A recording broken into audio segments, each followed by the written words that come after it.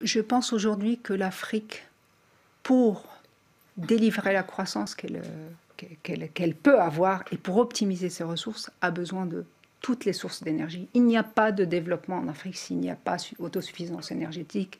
S'il n'y a pas... Aujourd'hui, on est, on est confronté à des industriels et des opérateurs qui sont locaux, qui sont confrontés régulièrement à des coupures d'électricité. Comment pouvez-vous travailler, créer de la valeur, investir dans l'industrie si vous n'avez pas de l'énergie Ça, n'existe pas. Et donc notre, investissement, nos investissements en tant que sont fondamentaux pour donner aux Africains le moyen de se développer, et ça passe aussi par leur fournir l'énergie et l'électricité.